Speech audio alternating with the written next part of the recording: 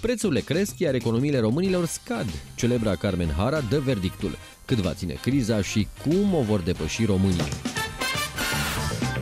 Vorbim în cele ce urmează de Carmen Hara, care aruncă bomba toamnei. Psihologul spune că suntem abia la începutul crizei financiare și că lucrurile nu sunt tocmai roz nici de, din perspectiva pandemiei.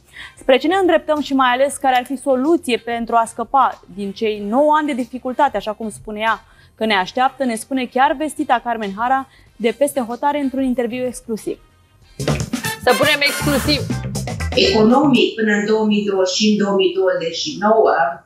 problemele se accelerează, deci se va ajunge la o cădere monetară globală care va duce la înlocuirea monedelor, înlocuirea banilor de hârtie și așa mai departe, mergem spre o monedă electronică, încercând să se salveze o situație trăind altceva.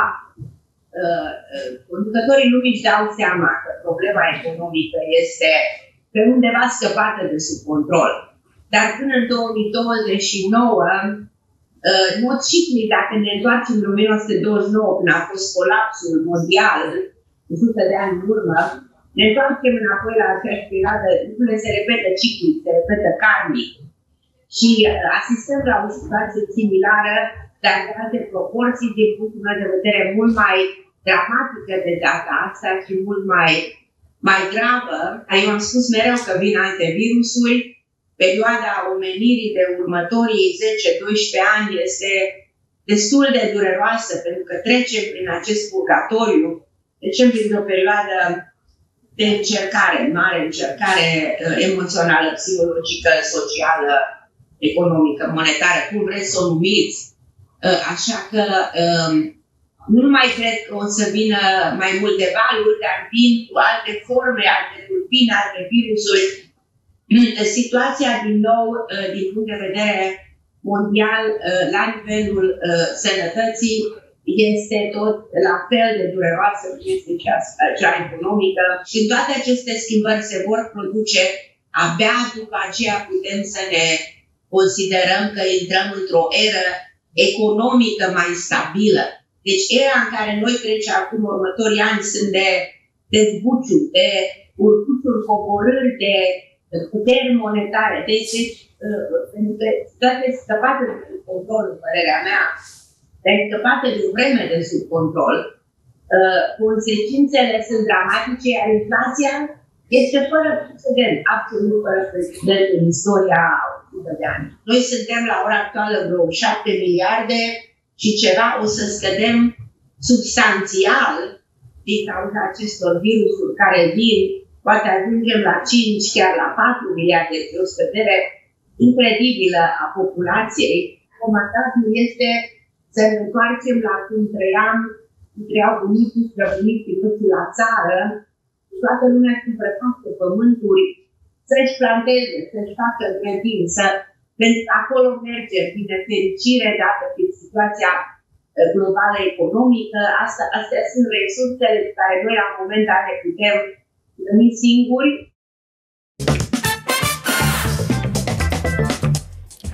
Bun, uh, așadar, uh, Liviu, uh, iată ce spune Carmen Hara, de altfel cumva inclusiv economiștii spun că lucrurile nu or să fie tocmai roz. Tu cum vezi situația? Păi asta nu se întâmplă de acum, se întâmplă de mulți ani. În România treaba asta, cu economia și cu toate cele dar parcă acum e mai apăsătoare? Uh, anul trecut, uh, bine, anul trecut a fost foarte, foarte, foarte complicat, dar uh, anul acesta și-a mai dat drumul puțin, să zic așa, nu doar din punct de vedere muzical, și economic în România. Pentru că s-au deschis.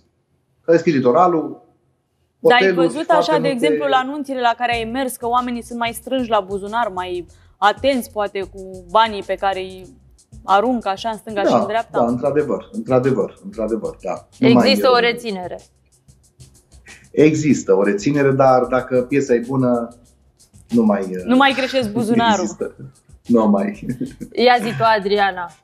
Da, este chiar o previziune în care cred 100%, nu pentru că este Carmen Hara prietena mea, Dar semnele Da, sunt clare. Carmen, doamna Carmen, iartă-mă, Adriana, scuză-mă, te rog.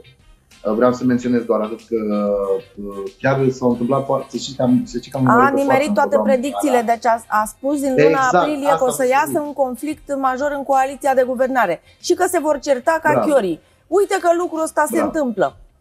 Deci eu cred în această predicție și iată că semnele se arată. Dacă vedem uh, valul de scumpiri, Da. eu nu mă gândesc ce o să fie la iarnă cu facturile dublate și cu domnul uh, Câțu, cel care fumează, nu știu ce fumează în fiecare Mă rog, zi, sincer. nu știm, Poate nu- nu, uite, nu cred că în Nu este meseria treaba ta, noastră. Liviu, aveți oameni care fumează atât de mult cum se fumează la guvern, adică Ai serios. vreo dovadă? Da. Eu zic și eu Păi nu, așa, la adică guvern se doarme, eu nu se cunosc fumează. lumea cântăreților de uh, manele, oamenii își văd de treabă, Nu, sunt vorbesc de serioși la guvern. job.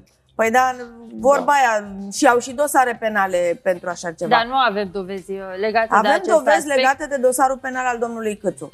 Și eu cred că care ar, a ar avut fi legătură bine să cu plece să ne lase. alcoolul, În niciun caz cu altceva. Păi nu se știe, e un consum nu de sunt în substanțe, nu se măsură știe să- ce fel de substanțe.